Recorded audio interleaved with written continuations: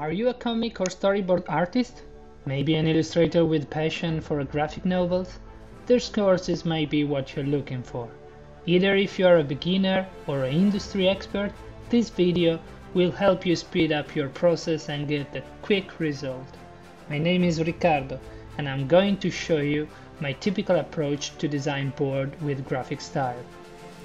In this tutorial, I'll cover in approximately one hour how to draw a complex perspective efficiently by using 3D and Photoshop, how to deal with complex scene and remain creative during the process. You will learn the basic of how to use SketchUp, deal with camera, perspective, and how to experiment with style and shadow.